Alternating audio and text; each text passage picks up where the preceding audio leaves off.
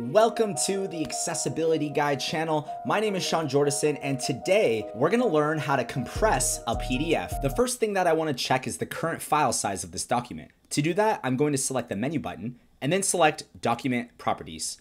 And from here, I can tell that this file is 15.6 kilobytes, which is not very much at all, but let's see if we can make it even smaller. I'm going to select the OK button. Now let's go ahead and select the Compress a PDF option from the Tools panel let's select advanced optimization.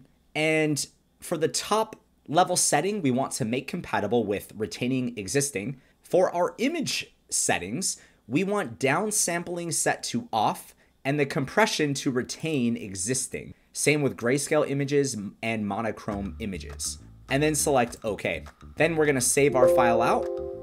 Now these settings will greatly affect the type of file you are working on. So if you have an extremely large document, it's going to have a larger impact. Whereas if you're working with a smaller file, the downsampling might actually be something that you want to include in those settings. The most important thing that I want you to take away from this video is the ability to adjust that customization for the compression on your PDF.